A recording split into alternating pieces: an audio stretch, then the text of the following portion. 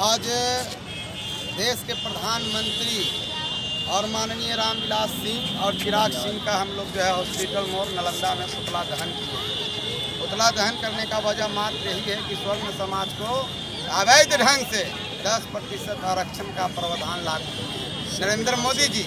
इसी के विरोध में हम लोग जो है कि नरेंद्र मोदी और रामविलास सिंह और चिराग